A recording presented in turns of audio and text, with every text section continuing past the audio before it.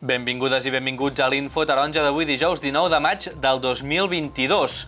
Manlleu ha presentat les activitats dedicades a infants i joves per a l'estiu. La capital del Ter ha presentat un nou sistema amb més casals i més variats, amb menys places cada un, però amb temàtiques concretes. La voluntat és que també tinguin places públiques per a les famílies amb més dificultats que hi vulguin apuntar els seus fills. El Vic Jove i l'Ajuntament de Vic han impulsat un nou servei de psicologia gratuït adreçat a adolescents i joves de la ciutat. El consistori vol revertir l'efecte negatiu que ha tingut la pandèmia entre aquest col·lectiu i ha creat aquest espai de suport emocional com a servei d'atenció i també de prevenció. Una empresa de Sant Quirze de Besora s'ha decidit a reciclar de forma efectiva les cordes d'escalada que ja han complert el seu cicle útil. Aquests elements de seguretat tenen una vida útil de 10 anys més o menys, si es cuiden bé, i tenen uns components plàstics que són difícils de reciclar en els circuits habituals. La Unió Ciclista Internacional i l'Ajuntament de Vic han presentat la Copa del Món de Trial que es disputarà a la zona del Mas de Vigues entre els dies 27 i 29 de maig, en una cita que torna a posar la capital usonenca en el mapa mundial del trial. Els usonencs Eloi Palau i Martí Riera buscaran estar entre els millors a la categoria Elite 20.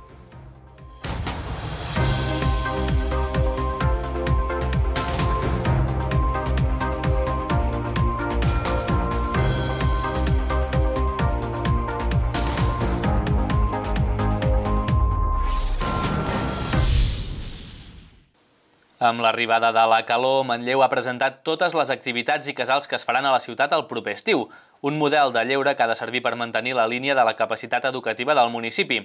Els casals d'estiu organitzats per les diferents entitats i associacions del municipi es completaran amb les propostes municipals que es faran de complement i tocaran temàtiques que no tinguin presència a la ciutat. Tots els casals privats, a més, tindran un percentatge de places públiques reservades per a famílies amb dificultats econòmiques. Manlleu ha presentat l'oferta d'activitats d'estiu per a infants i joves a la ciutat. L'Ajuntament ha treballat en un model cooperatiu entre el propi consistori i totes les entitats que ofereixen activitats i casals per fer que ningú es quedi sense una oferta assequible. Inclou tota l'oferta d'entitats, empreses privades i l'oferta de l'Ajuntament que el que fa és complementar. I especialment, tal com ha explicat l'Edu, doncs amb franges d'edat on hem identificat que hi ha menys oferta i que costa més també que, que s'hi apunti, no? que és el cicle superior de primària i l'ESO. Per això algunes de les activitats que ha anomenat l'EDU adreçades a joves són absolutament gratuïtes per tothom. L'altre gran principi de, de l'educació 360 és l'equitat. Doncs en, en termes d'equitat, un, un dels aspectes és aquest, de fer algunes de les activitats gratuïtes i després el que hem fet amb, amb la implicació de tots aquests eh, totes aquestes entitats, empreses que ofereixen a, a tots aquests casals, doncs que els ajuts de serveis socials que fan a, a, a infants en situació de vulnerabilitat, que tenen dificultats per accedir a activitats d'estiu, doncs que puguin triar quina activitat els ve de gust, igual com, com el que ho pot pagar, no? Aquest any l'Ajuntament i les diferents entitats han programat casals temàtics de diferents àmbits per multiplicar les possibilitats segons els interessos dels nens, nenes i joves de la vila amb menys places disponibles per cada casal, però amb maleabilitat per poder-los adaptar a la demanda que tinguin. Primer, coneixent i, i fent difusió de tota l'oferta eh, que es fa a nivell eh, privat, i quan dic a nivell privat parlo de, de, des de clubs esportius fins a associacions de, de famílies i altres entitats que organitzen doncs, activitats per l'estiu, i des de l'Ajuntament complementant aquestes eh, activitats eh, que es feien doncs, a títol d'associacions o d'entitats, doncs les complementem des de l'Ajuntament amb aquelles activitats que pensem doncs, que, que evidentment no entraven eh, en competència, sinó que complementaven aquesta oferta.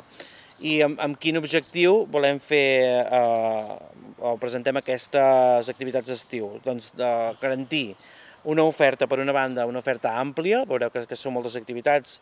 Aquest canvi de model vol portar a la ciutat una major implicació de totes les parts, des d'una perspectiva transversal i afavorint la mobilitat i el coneixement mutu d'infants i famílies de diferents centres educatius.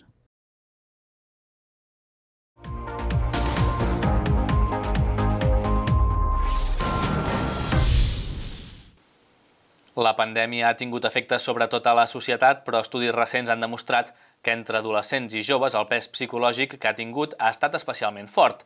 És per això que el Vic Jove i l'Ajuntament de Vic han llançat un servei de psicologia gratuït per a persones d'entre 12 i 29 anys que hagin tingut problemes psicològics arrel dels confinaments i les mesures de la pandèmia.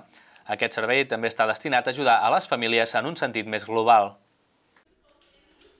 L'Ajuntament de Vic i el Vic Jove impulsen un nou servei de psicologia gratuït adreçat a joves i adolescents. Els confinaments i restriccions per la pandèmia han tingut un efecte negatiu sobre la salut mental dels joves, a més de ser un dels col·lectius més assenyalats.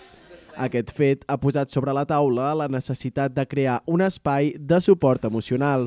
Neix una mica a conseqüència de tot aquest moment que s'ha viscut a la societat, aquest moment pandèmic, d'aquest tancament i eh, nosaltres donant resposta a aquestes necessitats que ens van manifestant constantment eh, des del col·lectiu de joves, aquí amb el tècnic amb en Joan, que m'acompanyi les professionals que ho portaran a terme, hem anat recollint aquesta necessitat tant dels centres educatius com dels mateixos joves com de serveis amb què estan en contacte amb els joves. Es tracta d'un servei d'atenció i prevenció dirigit a joves i també a les seves famílies i està inclòs en el Pla Local de Joves. Doncs això, sobretot és un, servei d'atenció i prevenció, eh, és totalment gratuït, per tant les famílies o els joves que s'adrecin a aquest servei no, ha, no té cap cost per ells. Llavors es faran assessories individuals, també es poden fer tallers grupals si hi ha alguna necessitat puntual i també doncs, intentarem dissenyar alguna campanya a nivell de xarxes, el que sigui, per poder tant explicar una mica el servei com explicar, donar bueno, indicacions a, i suport a, en temes emocionals. Des de fa 10 anys, el Vic Jove té en marxa el programa Intabó. Aquest nou servei d'atenció psicològica també en formarà part o la pròpia jove pot escriure un WhatsApp de manera així, la, la primera entrada és anònima i és un, ei, a mi m'ha arribat aquest telèfon, em sento així i t'escric, no? i això facilita aquest primer contacte directe i després ja som nosaltres que acompanyem uh, de, ostres, doncs anem cap aquí, cap allà, en aquest cas ara serà, ei, doncs hi ha aquest superemocional i que el fet de que sigui això el Vic Jove, també l'entrada és molt més pròxima. Per la seva banda, la psicòloga de la cooperativa Agape, Judit Ferrer, valorava molt positivament l'aposta de l'administració pública per la salut mental dels joves. I nosaltres que estem molt contentes de formar part d'un projecte com aquest, no? I, que, i molt agraïdes també i, i una mica tranquil·les professionalment, no? si em permeteu, de veure que l'administració pública aposta no? per, per atendre i donar cura i atenció a la salut emocional i mental dels adolescents, dels joves i les famílies, perquè realment sí que bueno, sempre són àrees importants a la vida de les persones, no? que ens afecten en el nostre dia a dia, en el nostre benestar, en les relacions que establim amb nosaltres i amb els altres i, i després, per tant, a nivell comunitari. I sí que arrel de tots aquests anys que hem viscut, doncs, aquestes necessitats doncs, que ja hi eren, però sí que sembla doncs, que s'han fet encara més visibles i que hi ha, com ha dit en Joan, un, un augment. No? Aquest servei va dirigit a joves d'entre 12 i 29 anys. Se'n podrà fer ús de forma gratuïta els dijous a la tarda de 4 a 7 en horaris d'obertura del Vic Jove.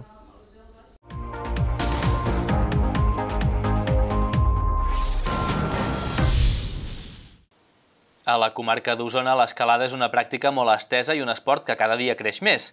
El material d'escalada és complex i ha de complir mesures de seguretat. Les cordes, per exemple, són molt complexes i tenen diferents materials que els donen unes característiques úniques. Això, però, fa que siguin difícils de reciclar. Ara, una empresa de Sant Quirze de Besora, que és un dels grans productors de cordes d'escalada a tota Europa, ha trobat la manera de reciclar-les i extreure'n els plàstics que les conformen per crear plàstics ingestats per a usos industrials. Amb la col·laboració de diferents botigues d'esports, pretenen recollir les cordes velles i obsoletes per donar una nova vida a aquests plàstics. Osona és una comarca molt escaladora i el material que en resulta a vegades ocasiona residus. Les cordes dinàmiques amb els anys perden les seves propietats i no tenen una vida útil de més de 10 anys. A més, tenen uns components plàstics que són difícils de reciclar. Ara, una empresa de Sant Quirze de Besora s'ha proposat recollir totes aquestes cordes desgastades i donar-los un nou ús.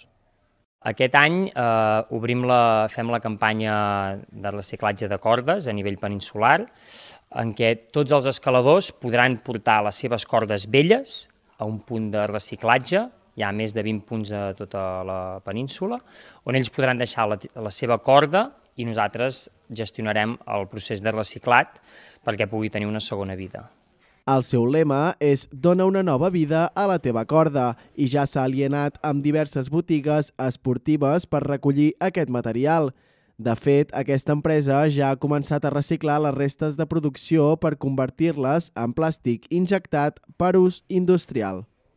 Un escalador, eh, la seva corda la pot fer servir 10 anys, ja la faig servir molt o poc, però a partir d'allà eh, la, la tiraria a les escombraries. Llavors, nosaltres el que proposem és un procés de reciclatge a mida per poder-ne fer peces d'injecció, que és la manera més òptima de reciclar-la es tallen, llavors es tritura, quedant eh, convertit en una espècie de, de cotó.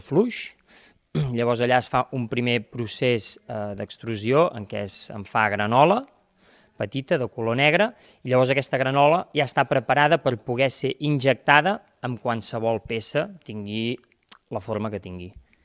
El que es busca és reafirmar la idea que l'escalada és un esport respectuós amb el medi ambient i ajudar a eliminar els pocs residus que genera.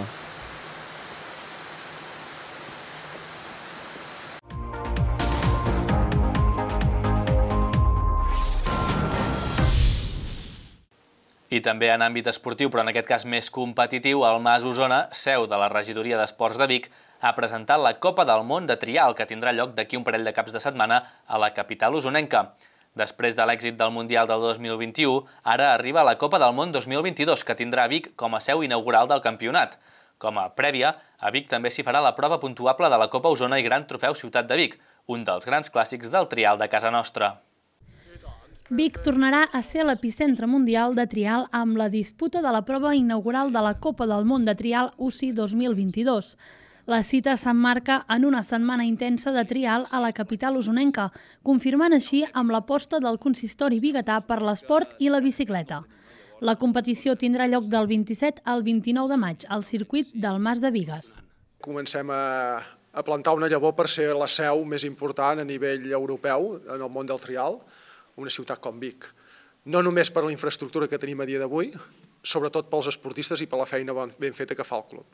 No? Eh, a vegades hi ha molta feina darrere treballada no? per, per part de l'entitat, no? però falta instal·lació o falten els esportistes de, de, amb ressò internacional, jo crec que Vic i la comarca té tots aquests ingredients. No? Per tant, eh... Aquest pròxim diumenge, 22 de maig, tindrà lloc el Gran Premi Ciutat de Vic, competició amb categoria internacional que servirà per tancar l'edició d'enguany de la Copa Osona. A més, la prova servirà de presa de contacte per a alguns dels riders internacionals que participaran a la Copa del Món.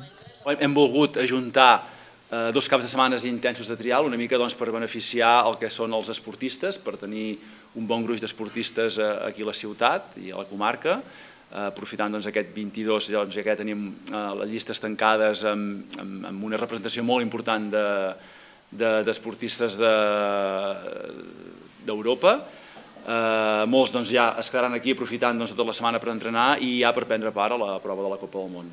En queden molts per arribar, eh, molts s'incorporaran a mitja setmana, però això ja ens assegura doncs, una participació molt alta tant en l'apartat femení com el masculí, amb més de 30 esportistes masculins i amb uns, eh, si no em falla la memòria, 10 de femenins. Una molt bona inscripció i a un global de gairebé 200 inscrits per aquest Gran Premi Ciutat de Vic. Vic espera repetir l'èxit de l'any passat, on més de 5.000 persones van passar pel campionat. Des de l'organització s'espera que repeteixi aquest interès dels espectadors per la disciplina del trial, que a més tindran entrada lliure al recinte. Des de la part organitzativa estem molt contents de poder organitzar una altra, una altra Copa del Món. Hi ha molt esforç a darrere, tant part del club i sobretot de l'Ajuntament i de totes les entitats implicades, però és un repte, no?, poder organitzar una altra cop, una, una cursa internacional. L'any passat vam deixar el llistó molt alt amb el, amb el Campionats del Món. Eh, hem mantingut, sent una Copa al Món, hem intentat mantenir el llistó igual d'elevat, i esperem que, que pugui anar tot bé. L'únic que afegeixo és fer una crida a que el Mas, Vigues, el Mas de Vigues es faci petit. Comencem les curses el divendres, el dissabte i el diumenge. El diumenge és quan hi ha les finals i esperem doncs, que es faci petit. És una instal·lació molt gran, però jo crec que l'hem de tornar a omplir com va passar aquest, aquest setembre amb els campionats del món. El circuit del Mas de Vigues compta amb els estàndards requerits per l'UCI amb zones físicament exigents i donar l'elevat nivell tècnic. Com a novetat, s'invertirà l'ordre en què els riders afrontaran el circuit. El jove rider usonenc Martí Riera es va emportar el títol júnior de l'any passat. Enguany ja competirà a la categoria elit. L'any passat va anar tot molt bé, aquest any esperem que també hi vagi, però també som conscients de que una Copa del Món en categoria èlit és molt més complicat que, que un Mundial. Però bueno, jo estic molt, molt content de poder tornar a córrer a casa, amb moltes ganes.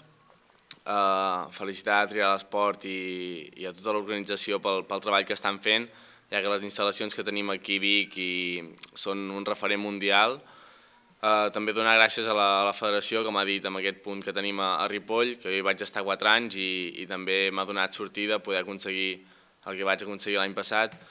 Llavors, res, poc més a dir, jo parlar aquí en premsa no en sé, però, però bueno, intentaré fer el millor que pugui, amb moltes ganes i aviam si es pot uh, assemblar una mica a l'any passat. Tot i que les inscripcions no es tanquen oficialment fins al dia 23 de maig, ja es coneixen alguns dels participants a la competició, com ara l'actual campió del món, l'espanyol Borja Conejos, juntament amb els altres dos riders que el van acompanyar al podi mundial, Alejandro Montalvo i l'usonenc Eloi Palau. Ah, cap aquí.